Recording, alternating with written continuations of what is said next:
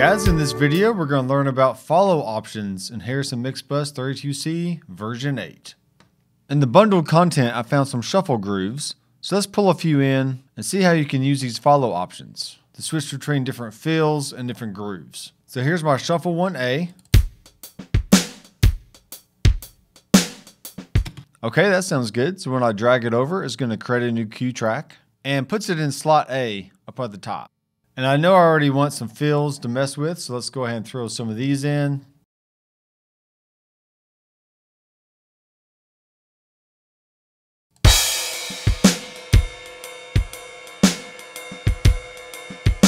So there's a ride and a crash groove. Let's just put this on E.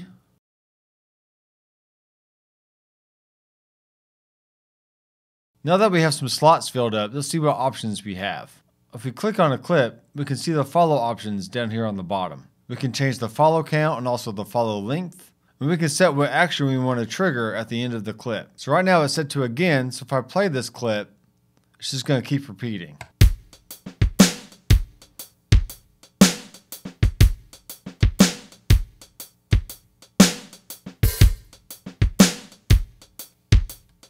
Okay, so there it went for a second time. And if we click here, we can see we have the option to have none, stop, again, reverse, forward, and jump. So if I choose forward, it's naturally going to go down to the next slot, which is going to be a fill. So let's check that out.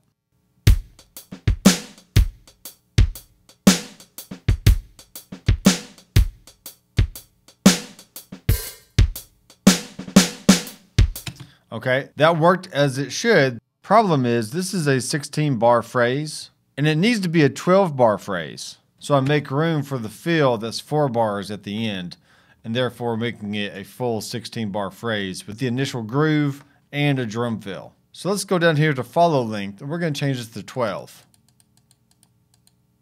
Because a four bar phrase has 16 beats, we want to make it a three bar phrase for the initial groove and then another bar which is four beats for the fill.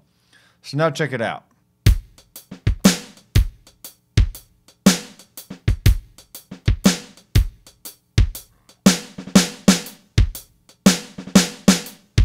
And now the problem is the fill keeps repeating. So now we just have to tell it what we want it to do. In this case, we're going to use the jump option to jump back to A. As you can see, we have two fills here, and maybe I just want a more random selection, so it feels like a natural player is actually playing these drums. So what I'm going to do now is go back to my clip A, go to jump, and then go to multi, and then from there I can choose the two slots I want this to pick from. Let's make sure this last slot is going back to A, and then let's press play on the top slot here.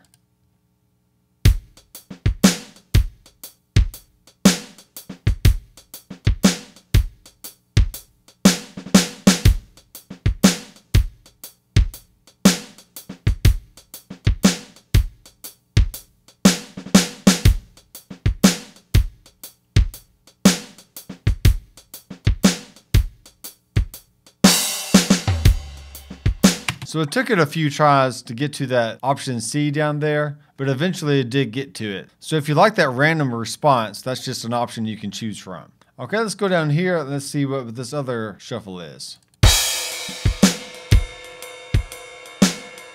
So let's say this is like our B section of the song, and this is more of like our A section. So what we can do now, instead of having these go back to A, I can tell them to go down to E.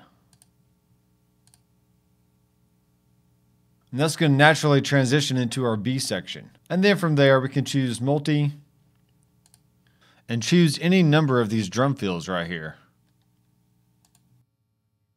And we can make these drum fills go back to A. So that way we naturally jump from our verse down to our chorus and then back to our verse again. Okay, so let's play this slot E right here.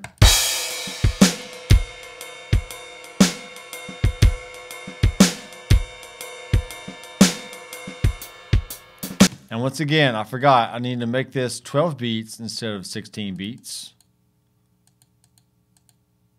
So there we go. Let's listen one more time.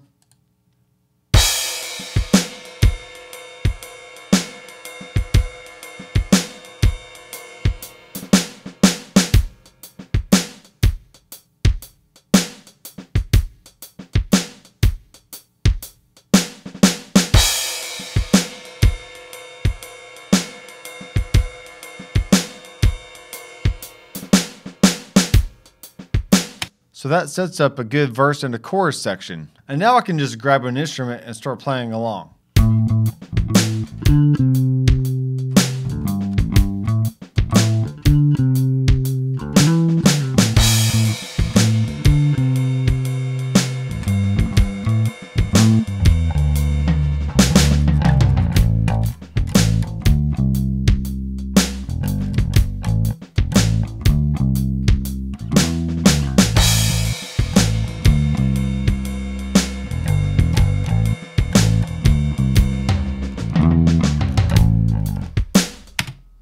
Okay, let's do the same thing, but now let's play with some piano chords. Let's go a G major, and I'm going to make a chord progression that I can play along with. So let's choose D, E minor, G, and C. And let's do the same thing with this D chord here. Let's go ahead and make it six beats. I want the E minor to be only two beats long. Then my G is going to be 4, and my C is going to be 4. Then we can just tell the follow action to go forward. Then when we get to C, we can tell it to go back to the A section again. Now let's launch row A by hitting the Q button.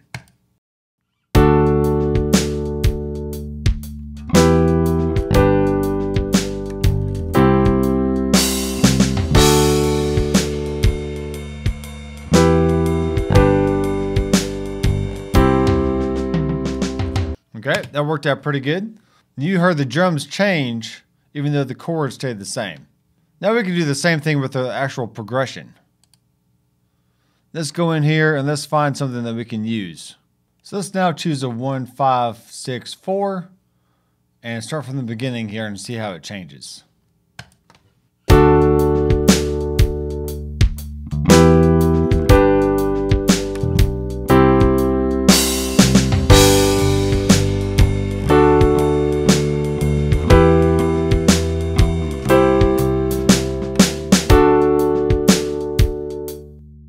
Alright guys, so that is how you use follow options in version 8.